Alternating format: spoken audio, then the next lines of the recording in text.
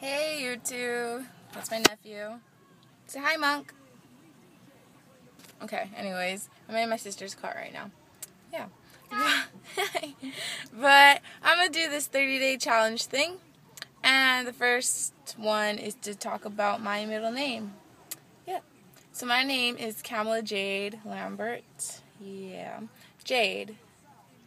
Yeah, I like it. Yep. I don't know what to say about it.